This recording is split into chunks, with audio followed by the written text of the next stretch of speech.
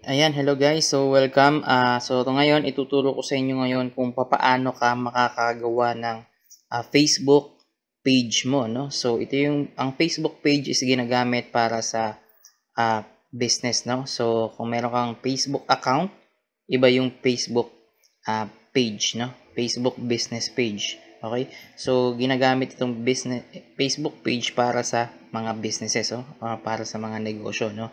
So, ibig sabihin nun, um, basic requirement itong Facebook page para makapag-set up ka ng automated chatbot and then makapag-advertise ka sa Facebook, no? So, hindi ka makakapag-advertise kung wala kang page, okay? So, ngayon, um, so ibig sabihin, basic requirement ito, no? So, ito yung unang gagawin natin. So, kailangan mo lang gawin is pumunta, i-click ito, no? Ayan, click natin. Ayan, so meron ka makikita dito na your pages, no? So, ayan, click ka yan. Ayan, then click mo itong create page. Okay? Then, meron ka makikita get started. Click natin yan. Dire-diretso lang tayo. Then, ayun, nandito na tayo sa name your page, no? So, ang name your page is depende sa uh, kung ano yung page or yung gagawin yung Facebook page, no? So, kung, uh, for example, is uh, ibabrand mo yung sarili mo, uh, yung pangalan mo, pwede yon no? Yung halimbawa is Nil Arenal, no?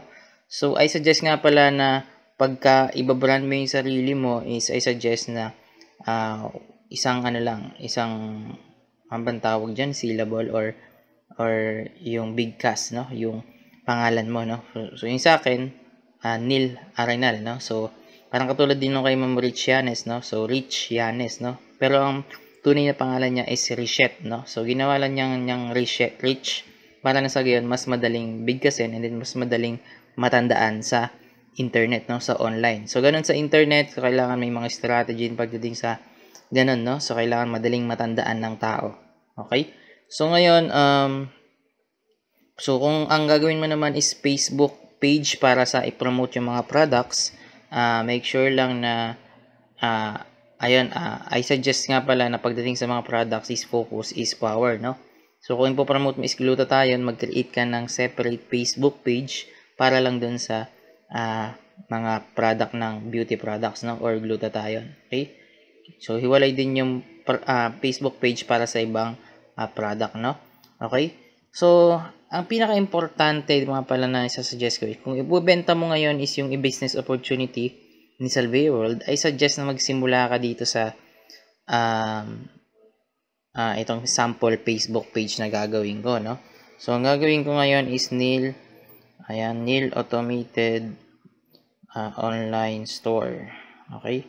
So, ngayon, isa siyang, itong Facebook page na to is, ang uh, category nito is dapat is nasa e-commerce uh, website, no? So, kasi, kaya ko, uh, yun ang intention ko is dahil um, kadalasan kasi ngayon yung uh, kinikreate namin ng mga advertisement kapag ang Facebook account ko account nila is or account ng tao is uh, yung pangalan nila or isang entrepreneur or isang isang public figure is nagiging ano siya mas madali siyang ma-disapprove yung mga advertising advertising campaign no? So yung FB ads. So pero dito, kung ang category mo is e-commerce website or nasa business brand siya, uh, mas ano siya, mas pinapaboran siya ni Facebook, no? So, I suggest na ganito na lang yung gawin mo. Okay? Kung ipopromote mo yung business opportunity, no? So, kung ang pangalan mo is yung pangalan mo, then automated online store, no? So, ayan, i-click natin tong. Uh, pero anyway, example lang din to, no? So, depende pa rin sa'yo kung ano yung gusto mo. Okay? So, ayan, click ko tong next. Ayan, so napunta tayo ngayon dito sa what do you want to do with this page, no? So, ang kiklik ko ngayon dito is itong sell products, no? Or provide services, no? Sabi ko nga, pagka dito, pag dito ka nag-click, um, possible na malaki, maliit yung chance na ma-approve yung ano mo, mga Facebook advertising campaign about, kasi yung business natin is talagang recruitment, eh, no? kung bebenta mo yung opportunity, no? So, ano siya, um, MLM siya. So, madalas ng MLM side is uh, na dinidisapprove ni Facebook, no? Pero kapag ang ina natin, pumunta tayo dun sa e-commerce side ng business natin, e-commerce side, malaki yung chance na ma-approve yung mga ads natin, no? So, ayun. Um, click ko na ito ngayong, itong, ano na to, ng category. Click ko lang itong next. Ayan. So, select, uh, choose categories for your page. Okay. Ayan. Brands and products. Subcategory. Um, e-commerce. Ito na lang, jewelry and watches. No? So, pwede din, kung computer ang ginagamit mo, pwede din yung ano, e-commerce website na lang, ano? So, click ko na tong next. Okay. Kung computer ang gamit mo, I suggest na e-commerce website, no? Yung category. Add your website. Okay, pwedeng, you can skip this, oh, you, if you don't have a website. Okay? Pero pwede mo nang ilagay dito yung sa um, Salveo World website mo, no? So, example, itong sa akin. Dot salveo.com Okay? So, yun. Click yan. Then, add the profile picture, no? So, skip ko na muna to. Okay? Pero ikaw nang bahalang mag-add ng profile picture mo dyan, no? Ang profile picture is, I suggest na picture mo ito, no? Kahit Uh, kasi pangalan mo ito, Nil Automated Online Store. So, ibig sabihin, uh, kailangan uh, picture mo yan para lang sa gayon makilala ka rin ng tao and then pagkatiwalaan ka ng uh, mga customers mo, no? Ayun, um, then I suggest din na medyo, syempre, professional yung dating, naka, ano siya, uh, credible person ka, then, uh, half body picture, much, much better, no? Okay, so ayun, click ko na tong, skip ko na muna yan, then next ko to. Yung cover photo naman, ko nang bahala, no, may, kailangan da, dito is uh, inspiring or related dun sa business opportunity, no? Okay?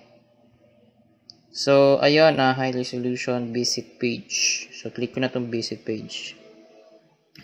Ayan, so nandito na siya ngayon, no? So, ang gagawin mo ngayon is mag-explore mo na lang itong pinakang Facebook page mo, no? Ayan. So, dito ka mag-add ng cover photo, yung profile picture. Then, click mo din tong add button para dito mo naman ilalagay yung chatbot link mo, no? So, kung um, matatapos mo na yung ano, yung chatbot link dun sa ano, sa mga kasunod na step, bumalik ka to dito, balikan mo to, then ilagay mo dito yung chatbot link mo dito sa button na ito, no? Okay? So, i-click ko to, no? Sample lang natin para makita mo, no? Ayan. So, i-click mo dito is yung um, itong learn more, no? Ayan. Ayan. Nasa baba. Okay? Pag-click natin dyan. So, dito may ilalagay yung chatbot link mo. Okay? Pe-paste mo dyan ngayon. Okay? So, ngayon, hindi ko muna may ilalagay yan kasi wala pa tayong chatbot link. Okay? So, balikan mo na lang yan, no? So, ayun. Um, click natin itong nasa taas. So, kailangan ikaw na yung bahalang mag-explore dito, no? Ayan. Alright. Okay. So, pwede ka mag-invite ng friends para i-like yung itong page na to, no? Pero I suggest na bago ka mag-invite ng, is kailangan meron ka ng na itong mga contents, no? Para na sa ganyan, pag napunta sila sa page na to, is pwede na silang mag-inquire. Okay? So, I suggest din na mag-unahin mo is yung mga video, no? So, mag-focus ka dun sa videos, mga testimonies, then mga videos ng ano natin business opportunity, no? Kasi uh, more on ano tayo, uh, video marketing. Okay? Alright. So, ayan. Um, ang sunod natin gagawin is, so, ayan, explore mo na lang yung mga buttons dito, ano. Ayan, then, nakikita mo rin dito yung, ayan, So, yung about section, yan. Edit mo yung, kailangan complete details itong um, Facebook page mo, no? So, para ka rin nagpo-post dito, no? So, ayan, kung click mo tong post content, ayan. So, dito ka magpo-post ng mga videos, okay? So, meron tayong mga sample pages dyan na makikita sa training natin, no? So, pwede kang mag-explore. Okay? So, ayun, that's it. Thank you very much. And kung computer ka naman, pwede kang, pwede mo panoorin yung tutorial ng paano gumawa ng Facebook page using uh, computer. Okay? So, ayun, thank you very much.